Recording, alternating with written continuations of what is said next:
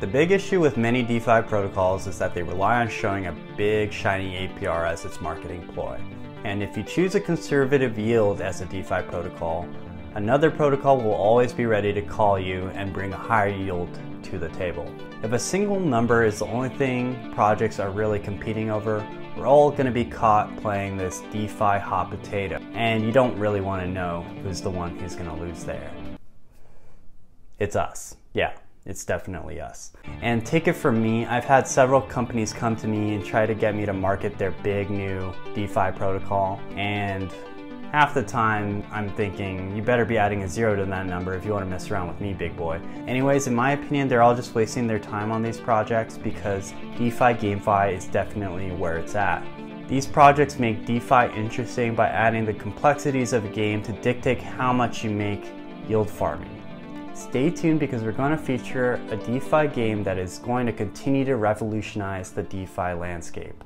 Hello everyone, this is Brent from Enter Your Wealth and I'm so happy that you're here today because we're exploring one of the blue chip DeFi games in the space currently. Enter DeFi Kingdoms, a play to earn MMO RPG built on a strong DeFi protocol. DeFi Kingdoms features dexes, liquidity pools, NFTs, and my favorite part, the beautiful music.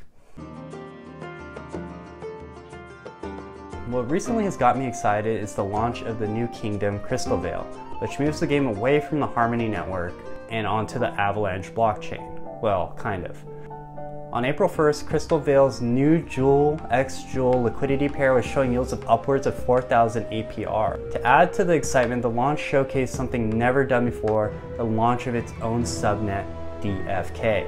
Okay, only nerds would really be excited about this, but it's actually super exciting. If you don't know what an Avalanche subnet is, without getting too technical, it's just a virtual piece of the Avalanche network that is isolated and has its own rules that the developers end up writing. And just like other popular nets, such as Ethereum, Polygon, we can just toggle it on MetaMask and we're going to be connected to the DFK subnet. The benefits include allowing the gas to be paid in its native token, in this case Jewel, which allows DeFi kingdoms to introduce deflationary aspects to this previously inflationary coin. On top of this, it also reduces gas prices and transaction speeds if compared to any of the congested networks that we're all used to using, such as the actual Avalanche blockchain. The tokenomics of DeFi kingdoms are certainly awesome too. They have a system that prevents yield dumping in which a greater portion of the stake rewards are locked and unlocked over time depending on how many epics you stake through. Check out mine and the official Medium article that better explains how this all works in the description. So here's the million dollar question. Am I invested?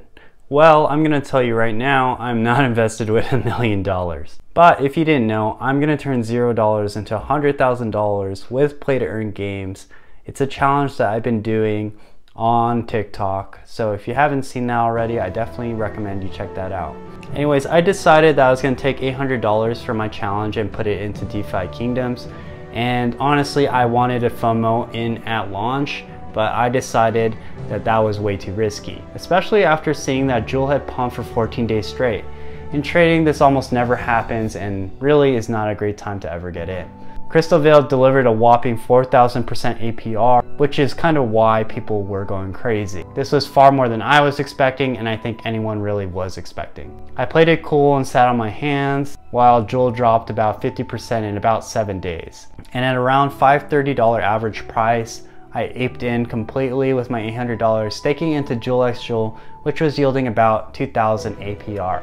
I plan on staking this long term, so if you want to see how this investment turns out, definitely subscribe to my YouTube channel as I continue to make DeFi Kingdoms content. As of right now, these are my rewards. I don't know what I'm putting up here, but these are my rewards.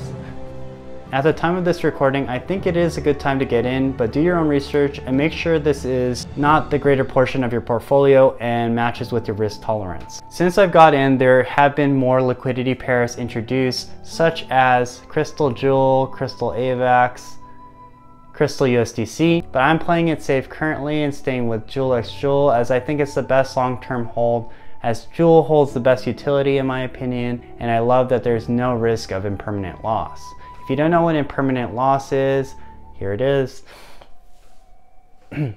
Let's go for the tokenomics of DeFi Kingdoms, and this is after every transaction. So 1% is burn. That's pretty just great. Really nothing more to say. Awesome. Burning tokens is needed to introduce a deflationary aspect to an inflationary coin.